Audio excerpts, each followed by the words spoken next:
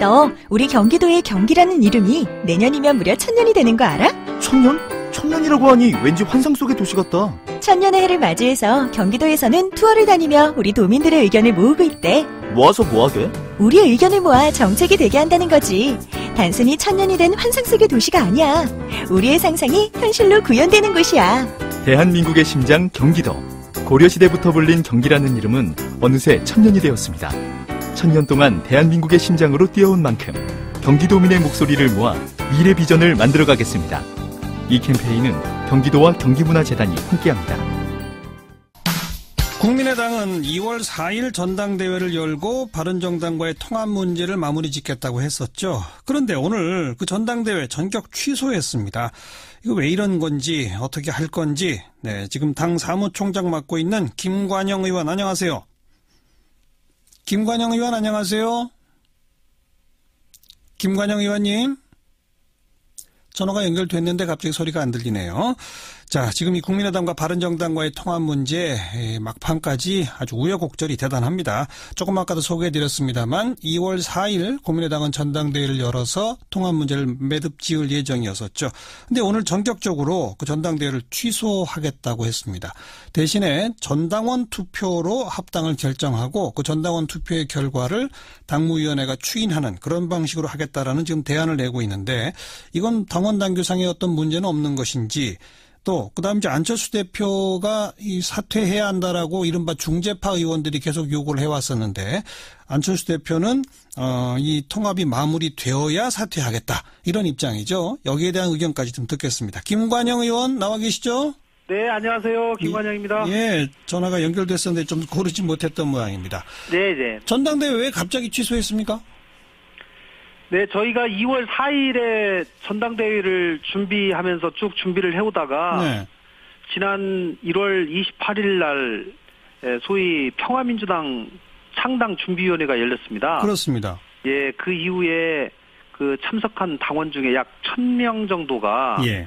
저희 당의 이번에 전당대회에서는 대표 당원만 투표를 할 수 있거든요. 예. 저희가 약 6,500명 정도로 명단을 만들어 놨었는데 예. 그 6,500명 중에 약 1,000명 이상이 지금 그 발기인으로 참여를 했습니다. 아, 민주평화당에 예, 예. 예. 그러다 보니까 저희가 전당대회를 하려면 이 투표자 명부를 확정해야 되지 않겠습니까? 네. 2월 4일 날 정상적인 투표를 위해서는 1월 30일까지 저희가 명단을 확정해야 되는데 그게 벌써 어제네요. 네, 그래야 되는데 이분들이 발기인으로 참석했고 그분 중에 상당 부분이 2월 1일 날 창당 대회에 본격적으로 또 참여를 합니다. 예. 그러다 보니까 이중당적 문제가 나오고 이분들에 대해서 나중에 이분들이 만에 하나 또 무효 소송을 제기하게 되면 예, 예. 전당대회 전체가 흔들릴 가능성이 있기 때문에 예.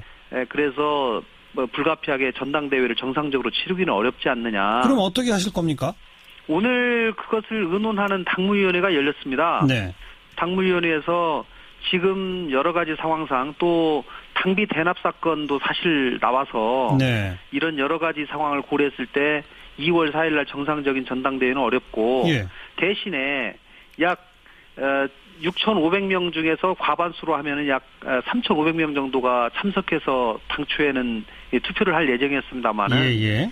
이보다 많은 사람들이 좀 참여를 하고 예. 민주적 정당성을 확보할 수 있는 방법이 뭐가 있을까 네. 고민하다가 전체 당원 28만 명에게 직접적으로 물어보자. 예. 그래서 전 당원 투표를 통해서 예. 이 문제를 결정하는 것이 좋겠다. 예, 예. 이렇게 결론을 냈고 예. 그러기 위해서는 불가피하게 에, 당헌을 네. 일부 고쳐야 되는 문제가 나옵니다. 아하. 그래서 당헌을 고치기 위해서는 또 저희 당헌상 중앙위원회에서 이 당헌을 고칠 수 있는 것이거든요. 예, 예. 그래서 2월 4일 날 중앙위원회를 소집해서 네. 당헌을 일부 고치고 어, 고친 다음에 전당원 투표를 통해서 예. 어, 이 문제를 매듭질 짓겠다 이런 생각.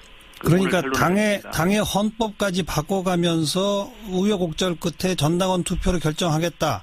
이러니까 반대파 쪽에서는 이거 꼼수다 이런 발언이 방- 당장 나오거든요. 어떻게 생각하세요? 예, 예.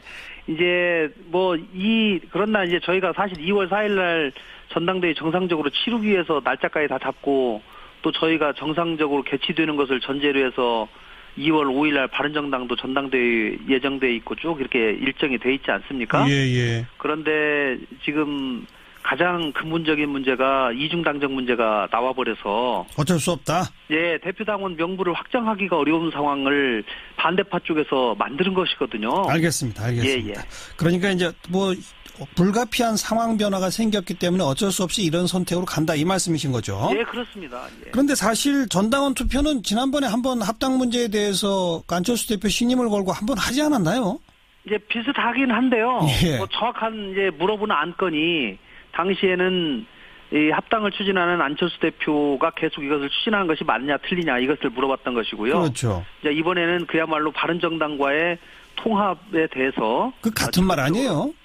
뭐 실질적으로는 크게 차이가 나지는 않습니다. 예, 예. 예, 예. 하지만 절차상 이걸 거칠 수, 거- 거쳐야 되니까 다시 한다 이 말씀이군요. 네, 그렇습니다. 그리고 지금 그 이른바 중재파 의원분들이 안철수 대표 먼저 대표직 사퇴부터 해라라고 쭉 요구해 왔는데 안철수 대표는 어, 이런 절차 뭐 전, 전당원 투표 등등을 다 거쳐갖고 2월 13일 날까지 통합을 마무리 짓고 그때 대표직을 사퇴하겠다 이렇게 지금 답을 내놨잖아요. 예, 예. 근데 당장 이 박주선 의원 같은 경우에 아니 13일 날 당이 통합되면 국민의당은 없어지고 대표직도 없어지는데 그때 무슨 사퇴냐 이건 말장난이다 이러는데 그건 어떻게 된 겁니까? 예, 예. 이제 이 지난번에 안철수 대표께서 어, 통합이 완료되면 백의종군 하겠다라고 이미 선언을 한번 했습니다. 예. 그런데 소위 중재파 두시는 분들이 어, 조기에 사퇴를 하면 예. 어, 소위 호남에 계신 지금 반대파 쪽에 계신 의원님들을 설득하는 데 도움이 될 것 같다. 예, 예. 그러니 조기 사퇴를 꼭 좀 해줘라. 예. 그러면 그것을 명분을 가지고 반대파에 계신 분들을 좀 더 설득해서 통합에 참여하도록 하겠다. 예, 예. 이제 이런 취지로 그분들이 그 제안을 하신 것이거든요. 그렇습니다. 네, 그런데 사실은 반대파에 계신 분들이 에, 통합에 합류할 가능성이 사실은 지금 거의 없어졌습니다. 예, 예. 예, 이미 창당 준비위원회 발기인까지 올렸고 했죠. 또 그분들에 예. 대한 사실 징계까지 당원권 정기까지 지금 이루어진 상황이거든요. 그렇죠. 예. 그러다 보니까 거기에 이어서 또 유승민 대표는 통합 이후에 이 사퇴하지 말고 다 같이 공동대표 그렇습니다. 이렇게 얘기하고 있지 않습니까? 예, 예. 그러다 보니까 반대하시는 분들은 봐라 이거 안철수 유승민 두 분이 짜고 예. 이거 절대 두 분 사퇴 안 난다. 예. 또 안철수는 절대 사퇴 없다. 아하. 또 이렇게까지 또 공격을 하고 계속 하고 있는데 예. 안 대표 입장에서는 국민 앞에서 이미 선언한 문제이기 때문에 예. 에, 이 통합이 완료되는 2월 13일 직후에 사퇴한다. 것을 사퇴해서 아. 그 부분을 명확하게 의사를 밝혀서 예, 예. 예, 국민 앞에 선언을 하겠다는 의미가 있는 것이고요. 중재파 의원들은 이 안 대표 입장에 대해서 이거 중재파의 의- 안을 거부한 거다. 내일 입장 네. 밝히겠다 했는데 중재파들이 민주평화당으로 갈까요? 당 통합에 합류할까요? 저희는 통합에 찬성하기를 간절히 바라고 있고요. 또 그것을 위해서 지금도 뭐 열심히 노력하고 있습니다. 음. 에, 그분들이 최종적으로 어떤 선택을 할지는 뭐 완전히 지금 정해져 있지는 않지만 예. 그분들이 통합의 방향에 대해서는 그동안 찬성을 해왔고 예. 과연 그러나 그 과정상에서 여러 가지 소통이 부족했다 이런 부분에 대해서 많은 이의를 제기했고 예, 예. 그런 알겠습니다. 부분 때문에 예. 조기 사퇴를 주장한 것이거든요. 합류하기를 기대하고 그럴 거라고 좀 본다. 예, 그렇습니다. 근데 박지원 의원은 지금 정작 저랑 인터뷰하는 김관영 의원을 딱 찍어서 네, 네. 김관영 의원도 결국 통합 반대파다 민주평화당 평화당으로 돌아올 거다 이렇게 얘기하던데요. 예, 제가 뭐 박지원 대표님하고 오랜 관계가 있습니다만은 적어도 통합 문제에 관해서는 서로 입장 차이가 좀 있는데요. 뭐 그런 일보다는 오히려 지금 반대파에 가 계신 그런 예. 의원님들 중에 에, 저는 몇 분이 아하. 다시 통합 대열에 합류할 것이다. 저는 이렇게 말씀드리고 싶습니다. 예. 양쪽에서, 양쪽에서 서로 자기들 쪽으로 올 거라고 지금 하고 계신데. 아무튼 결과를 지켜보겠습니다. 고맙습니다. 예, 네, 감사합니다. 국민의당 김관영 의원이었습니다.